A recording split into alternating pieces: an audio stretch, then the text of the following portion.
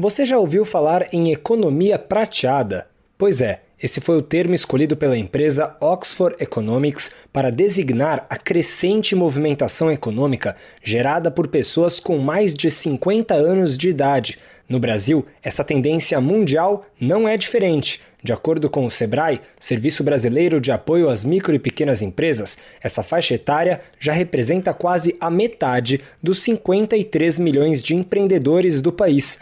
E para se ajustar a esse novo cenário, o mercado de trabalho busca se adaptar. E o primeiro passo é abandonar os estereótipos, como afirma a especialista em economia prateada Clea Clory em entrevista para o podcast Jornada Conectada, do grupo Bradesco Seguros.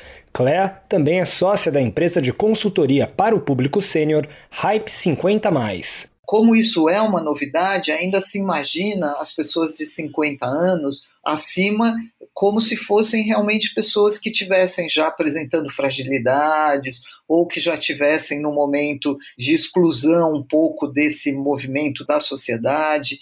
A população mais velha está aí, está presente em todos os lugares. E essa população ela chegou muito bem, muito saudável, tanto física quanto mentalmente, com muito movimento. A especialista afirma que atualmente as pessoas mais velhas têm preferido adiar a aposentadoria e empreender, seja por necessidade, seja também por um sonho antigo, muitas vezes se redescobrindo em novos negócios. E nesse novo contexto, a dica de Clea é enfrentar eventuais inseguranças e o preconceito do chamado etarismo, quando se discrimina a capacidade de uma pessoa pela sua idade. Não ter medo. Então, assim, vamos nos expor, vamos mostrar que viemos, vamos mostrar que nós ainda podemos, com a nossa expertise, com o nosso conhecimento, com a nossa história de vida, contribuir muito para esse mercado de trabalho. E, principalmente, não ter receio de trabalhar com as pessoas mais jovens, porque essa troca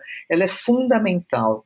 Clea também lembra que a economia prateada, se fosse computada como um país, seria a terceira maior do mundo. E a força dessa atividade econômica sênior deve continuar aumentando. A projeção do Instituto Brasileiro de Geografia e Estatística, o IBGE, é que até 2060 a população idosa deve dobrar no Brasil. Agência Rádio Web, produção e reportagem, Breno Zonta.